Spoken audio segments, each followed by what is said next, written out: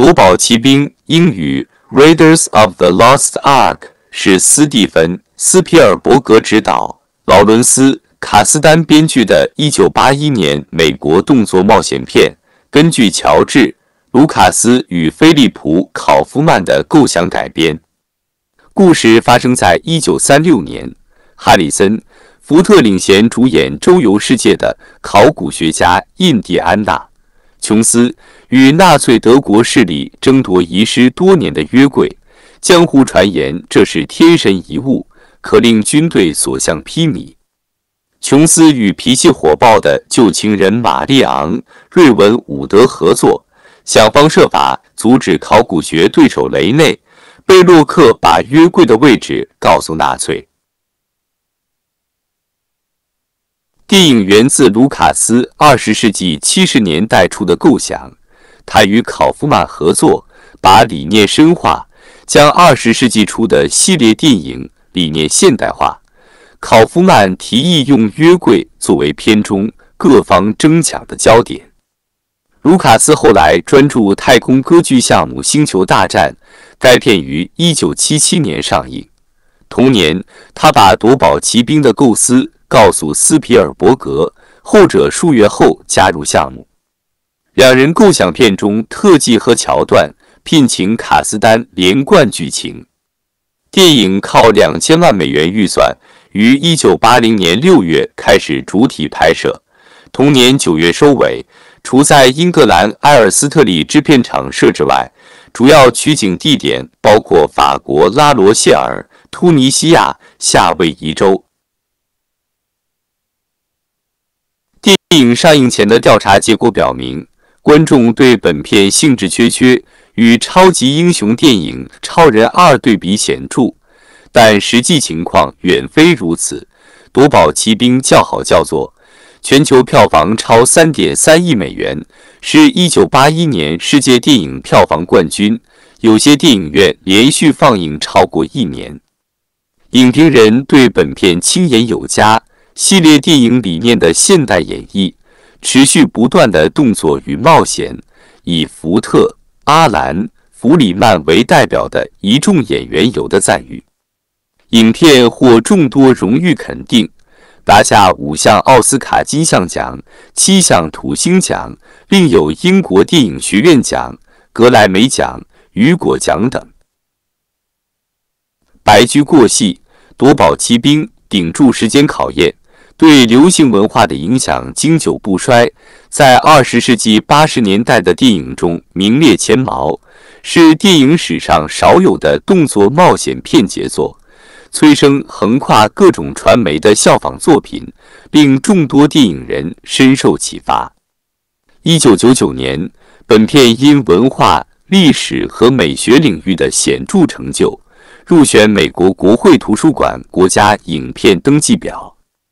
电影的巨大成功催生了《夺宝奇兵》系列，包括电影续集《魔宫传奇》（1984 年）、《圣战奇兵》（1989 年）、印第安纳·琼斯《水晶骷髅王国》（2008 年）、电视剧、电子游戏、漫画、小说、主题公园景点、玩具、同名业余翻拍电影。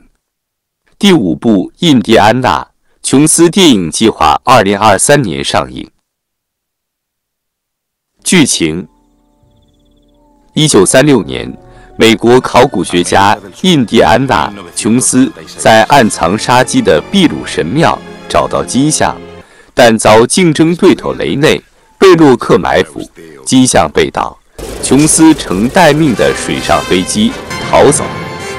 回美国后，他从陆军情报部获悉。纳粹德国势力在埃及塔尼斯附近大肆发掘，所发电报还提到琼斯的导师艾伯纳·拉文伍德。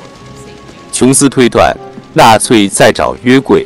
阿道夫·希特勒深信其中蕴藏不可思议的神通，能令德军所向披靡。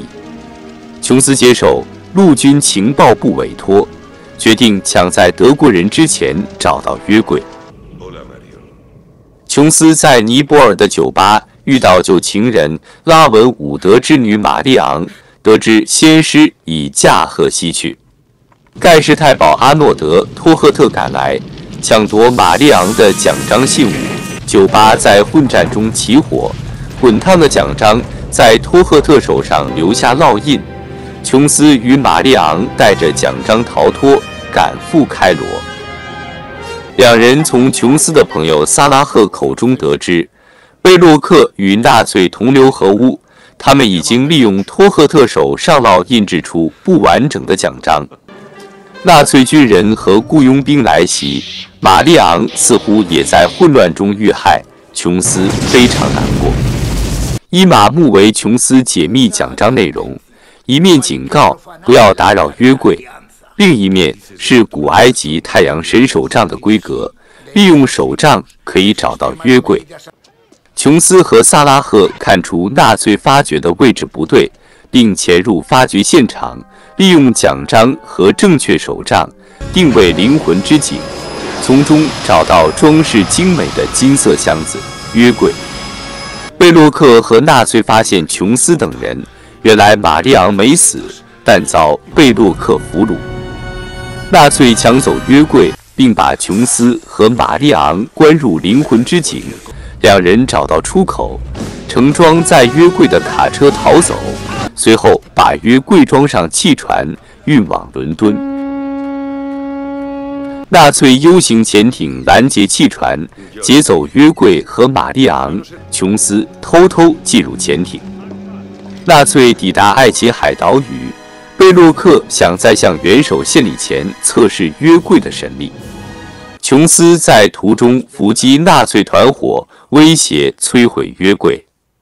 贝洛克毫不紧张，坚信琼斯绝不可能毁掉历史价值如此重大的物件，而且肯定也想知道约柜是不是真有那么神。琼斯最后放弃。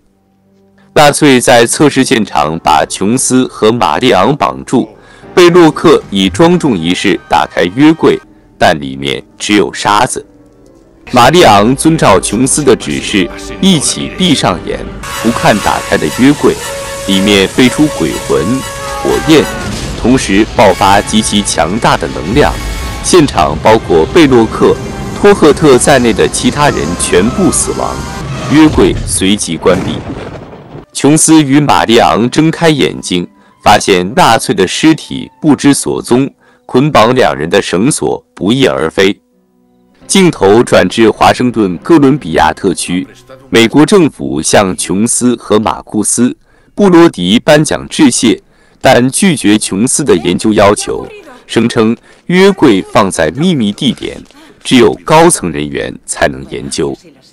最终，约柜被装箱后运入有成千上万只相似木箱的大仓库中封存，藏木于林，从此不知所踪。